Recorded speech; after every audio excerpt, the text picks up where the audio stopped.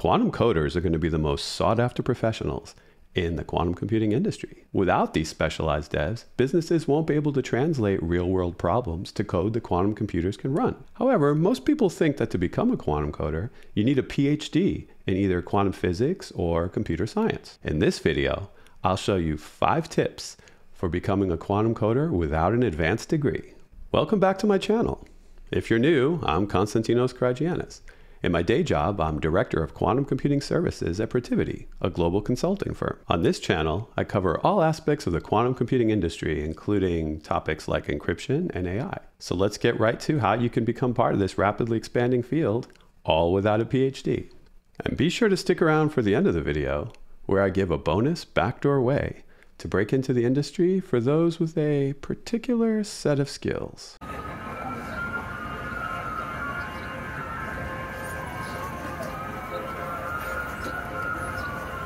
Uh, I live in New York City, and you used to have to live in a major city like this to be involved in quantum.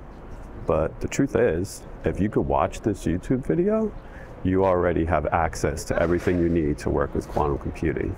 As with all tech jobs, being a quantum coder has some prerequisites. Before diving into the complex world of quantum computing, it's important to have a solid understanding of some of the fundamentals of computer science and mathematics. This includes at least some experience with a programming language like Python, an understanding of algorithms, and, oh, you're going to kill me when I tell you this, an understanding of linear algebra.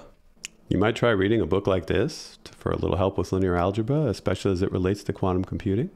One more area you're going to want to bone up on would be machine learning, because a lot of quantum use cases are going to involve quantum machine learning, and it'll be important to understand the basic principles of how classical machine learning works. In addition to books, there are lots of online free classes and computer-based trainings that you could find in all the areas that I mentioned so far. But if you find you're struggling with that self-directed route and using tutorials and things like that, you might want to actually pay for something like an online bootcamp or class with an instructor. Don't get discouraged by this major prerequisite step. Once you get a solid understanding of these areas, it'll make working with quantum computing a whole lot easier and it'll ensure a solid foundation for you to build your career on. While you don't need a PhD in physics to become a quantum coder, a basic understanding of quantum mechanics is still important for anyone who wants to work in this field.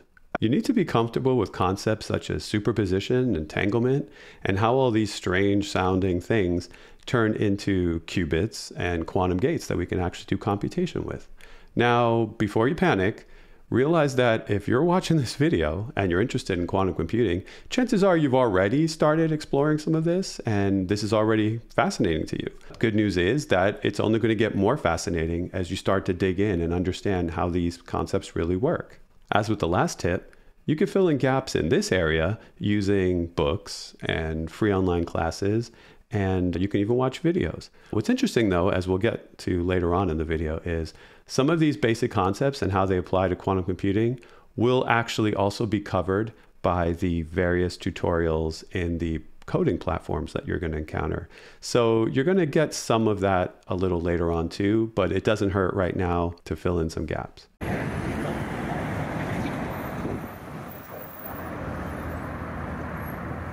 The quantum computing community is expanding rapidly.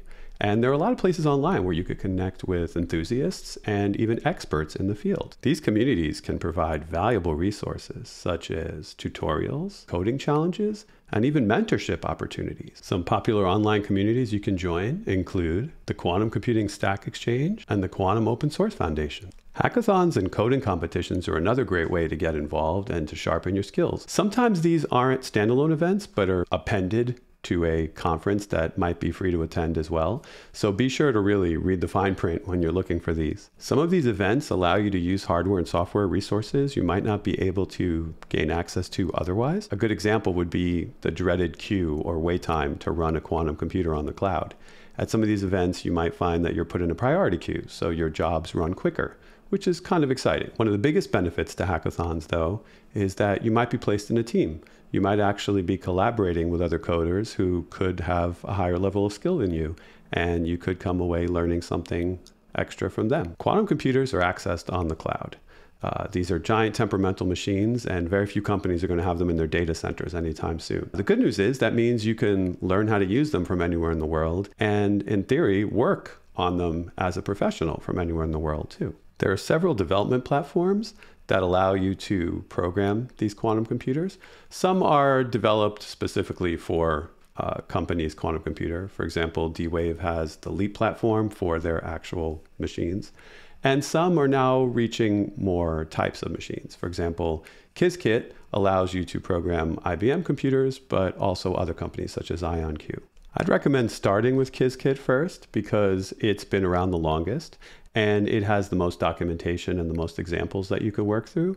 And then you can kind of get a feel for it and then maybe branch out into others. I put links to the most popular development platforms in the video description. Note that with all of them, you'll find that you can fine tune your code and your algorithms first, run them on simulators to see how they perform, and then actually use back-end targets of real quantum computers online, ones that are either free, sometimes with a long queue time, or ones that you pay for per shot.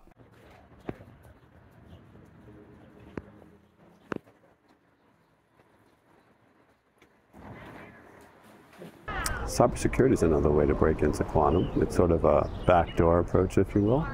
You might recognize where I'm standing as the Mr. Robot apartment building from the TV show.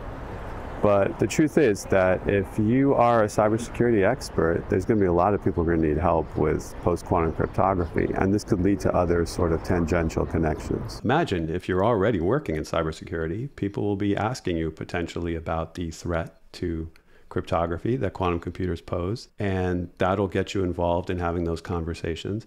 Also, people are interested in use cases with quantum computers such as anomaly detection. So even though you'll still have to do the prerequisites we discussed in this video, you'll be able to focus on one particular use case and potentially actually implement it quicker. So you'll focus on how quantum machine learning will allow you to spot anomalies and potential indicators of compromise. And at the end, that kind of knowledge can be translated to other use cases in the future. I hope you found these tips helpful wherever you may be in your personal quantum computing journey.